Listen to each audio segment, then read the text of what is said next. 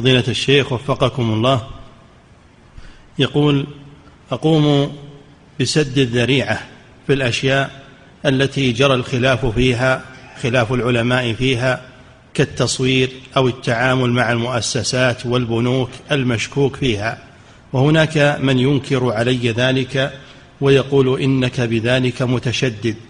فهل ما يقولونه صحيح؟ خليك متشدد.